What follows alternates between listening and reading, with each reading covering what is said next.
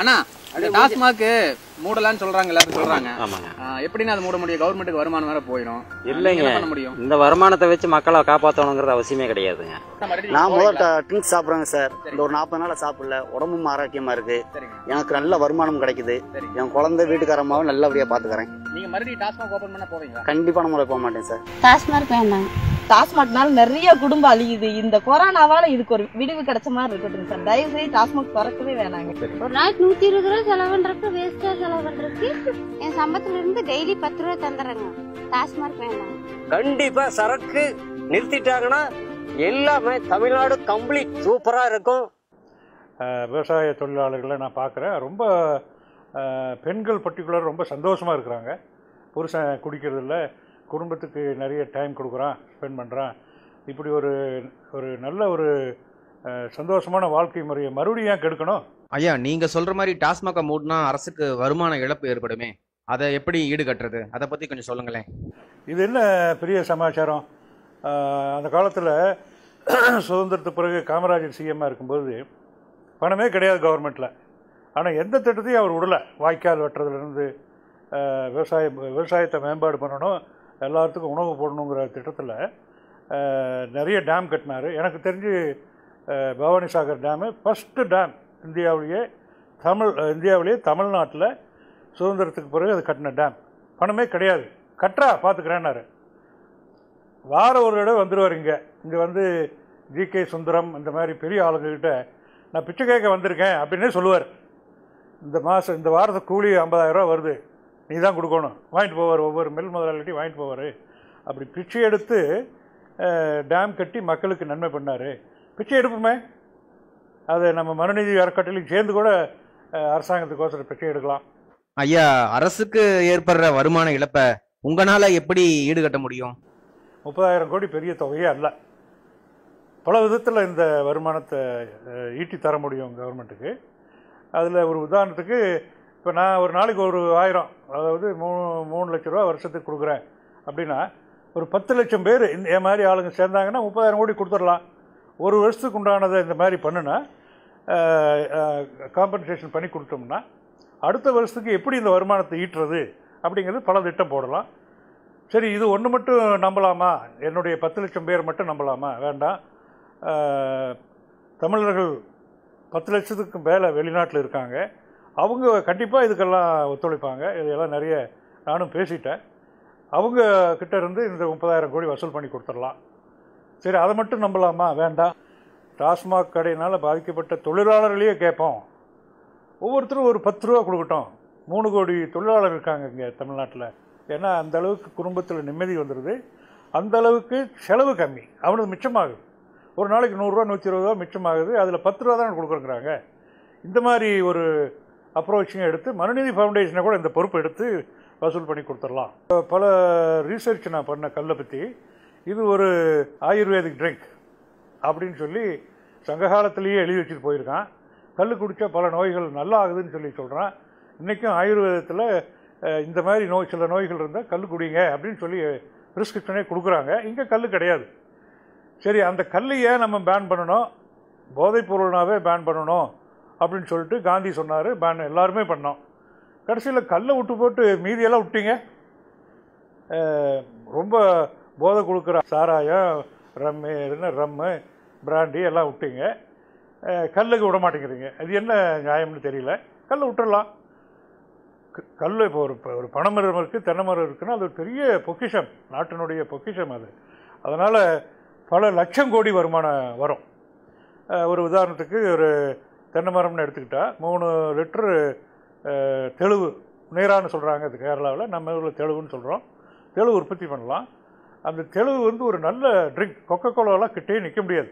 உலகத்திலேயே எந்த ட்ரிங்க்கும் இதுக்கு சமமாக இருக்க முடியாது.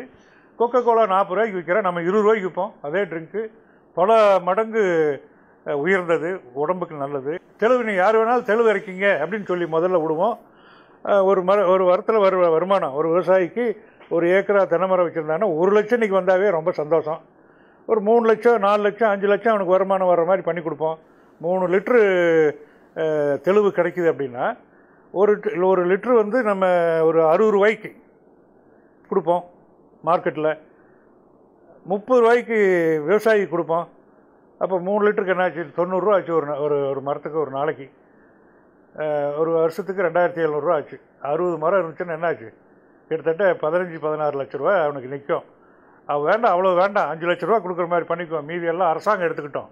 ஏதோ ஒரு விதத்தில் அதை மனுநீதி ஃபவுண்டேஷனை விவசாயி போய் கெஞ்சி கூத்தாடி அரசாங்கத்துக்கு இந்த வருமானம் வர வேண்டியிருக்கப்பா அப்படின்னு சொல்லி சொல்லி ஒரு லட்சம் கோடி தென்னை மரத்தையும் பனை மரத்திலிருந்து ஒரு லட்சம் கோடி வருமானம் பண்ண வைக்க வேண்டியது இந்த மனுநீதி அறக்கட்டளினுடைய பொறுப்பு. அந்த பொறுப்பை நான் ஏற்றுக்கிறேன் வேறு என்ன வேணும் உங்களுக்கு? அரசாங்கத்துக்கு என்னத்துக்கோசரம் மறுபடியும் டாஸ்மேக் ஓப்பன் பண்ணி இந்த சமுதாயத்தை கெடுக்கணுங்கிற எண்ணத்திலேயே பண்ண போகிறீங்களா அப்படி பண்ணீங்கன்னா நம்ம தாய்க்குளம் வந்து ரொம்ப கோவப்படும் உங்கள் பேரில்.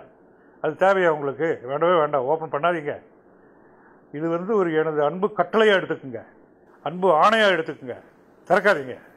இதுக்கு தலைமையேற்று வழிகாட்ட நீங்க தயாரா? எஸ் நிச்சயமா. நான் தயார்.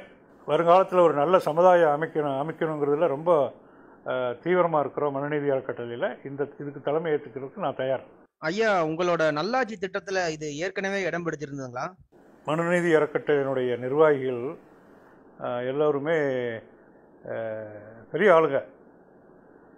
தமிழகத்தில் நல்லாட்சி கொண்டு வந்து நமது பண்பாடு கலாச்சாரம் பெருமையெல்லாம் காக்கணுங்கிறது தான் இந்த அறக்கட்டளையுடைய நோக்கம். ஏழைகள்லாம் சாப்பாடு இல்லாமலேயே யாரும் இருக்கக்கூடாது ஏழை விவசாயிகள்லாம் சொந்த காலால் நின்று அவங்க அரசனுக்கே சோறு போடுறவங்கிற பெருமிதத்தோடு வாழ வைக்கணுங்கிறது மு- முக்கியமான குறிக்கோளாக இருக்குது இதில் நல்லாட்சி தான் முக்கியம். நல்ல அரசன் இருந்தால் இதெல்லாம் தானாக நடக்கும். இந்த அறக்கட்டளையே வேண்டாம். அந்த அரசனை உருவாக்குறது எங்கள் திட்டம். அந்த திட்டத்துக்கு கீழே வரும்போது நல்ல சமுதாயத்தை உருவாக்கணும் முதல்ல அப்படிங்கிறது முதல் நோக்கம். நல்ல சமுதாயம் வேணும்னா இந்த சாராய கடையில் இருக்கக்கூடாது. இது வந்து மோசமான கலாச்சாரம். ஏழைகள் தான் பாதிக்கப்படுறான் பணக்காரனை விட ஏழைகள் தான் அதிகமாக பா பாதிக்கப்படுறான் ஏழைகள் குடும்பம் பாதிக்கப்படுது. அவங்க குழந்தைங்கள்லாம் ஒரு நல்ல முறையில் வளர்க்க முடியல அந்த தாயினால். ஆகையினால இது ஏற்கனவே திட்டம் வகுத்து திட்டமெல்லாம் ரெடியாக இருக்குது அது நல்லாட்சி வரணும்னு காத்துக்கிட்டு இருந்தோம். ஆனால் இந்த கொரோனா அரக்கன் இப்போ நமக்கு நண்பனாகி அந்த நீ ஏன்டா அவ்வளோ நாள் வெயிட் பண்ணுற நீ இப்போவே ஆரம்பிச்சுக்கோ. இந்த டாஸ்மாக் கடையை ஒழிக்கிறதுக்கு என்ன பண்ணுவோம் பண்ணிக்கோ. இதனுடைய நன்மைகளை மக்கள் ஏற்கனவே புரிஞ்சுக்கிட்டாங்க. இப்போ கடந்த முப்பது முப்பத்தி ரெண்டு நாளாக சாராயம் குடிக்காம இருந்து பழகி அதனுடைய சந்தோஷத்தை அனுபவிக்க ஆரம்பிச்சிட்டாங்க. மறுபடியும் அவனை கெடுக்கணும். மக்கள் விரும்பினால் அரசாங்கத்திடம் இதை அடுத்து எடுத்து செல்வேன். மக்கள் விரும்பினால்னு சொன்னீங்க. அது எப்படி உங்களுக்கு தெரியும் ஐயா? இப்போ இந்த பதிவில் ஒரு மில்லியன் லைக் வந்துருச்சுன்னா மக்கள் விரும்பினதாக எடுத்துக்கிட்டு இதை அரசாங்கத்திட்ட நான் கொண்டு போகிறேன் இதை. அவங்க காது கொடுத்து கேட்டே ஆகணும். ஏன்னா வருங்காலம் அந்த அரசாங்கத்தினுடைய வருங்காலம் இந்த சப்ஜெக்ட் ஒரு சப்ஜெக்ட் போதும். அவங்களுக்கு என்னங்கிறது இப்போ அர்த்தம் புரியும். இதுக்கு மேலே இது விவரம் சொல்ல வேண்டாம். புரியும் அவங்க செய்வாங்க. இப்போ இருக்கிறவங்க ஓரளவுக்கு நல்லவங்க தான் அரசாட்சியில் இருக்காங்க. அதனால் இதை செவிசாட்சி கேட்டு இதை கண்டிப்பாக நிலைநிறுத்துவாங்கிற நம்பிக்கை இருக்குது நான் அரசாங்கத்திட்ட இந்த திட்டத்தை எடுத்துக்கொண்டு போய் பர்மனெண்ட்டாக டாஸ்மாக் கடையெல்லாம் க்ளோஸ் பண்ணணும்னா நீங்கள் நான் எதிர்பார்க்குறது ஒரு பத்து லட்சம் பேர் லைக் பண்ணணும். ஐயா அரசும் அரசியல்வாதிகளும் மக்கள் விருப்பத்தை எதிர்த்து டாஸ்மாக மறுபடியும் ஓபன் பண்ணா என்ன ஆகும்? அரசியல்வாதிகளும் இதை எதிர்ப்பாங்க. ஏன்னா மது உற்பத்தியிலிருந்து மது விநியோகம் வரை எல்லா அரசியல் தலைவர்களும் இதில் பங்கு இருக்குது அதனால் எல்லாருமே ஒட்டுமொத்தமாக கண்டிப்பாக எதிர்ப்பாங்க. ஆனால் இந்த பயலுக அத்தனை பேருமே மக்களுடைய தீர்ப்புக்கு பயப்படுற ஆளுக தான் மக்கள் இன்னைக்கு வேண்டான்னு முடிவு பண்ணிட்டாங்க. மது வேண்டான்னு முடிவு பண்ணிட்டாங்க. இவங்க எதிர்த்து நின்னாங்கன்னா அவங்க காலி. அரசியல்வாதிகளாக இருக்க முடியாது. அதனால் வளைஞ்சு வர்றதுக்கு வாய்ப்புகள் ரொம்ப ஜாஸ்தி ரொம்ப அதிகம். இது ஒரு மாபெரும் வெற்றியாக மக்களுக்கு அமையும். அப்படி மீறி கடையை திறந்த அரசு காலி.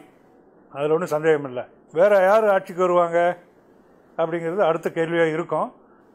எப்படி கொரோனாவை கொண்டு வந்து நம்ம மக்களுக்கு பெரிய நன்மையை ஏற்படுத்தி கொடுத்துருக்காரோ கடவுள் தான் ஏற்படுத்தியிருக்காரு.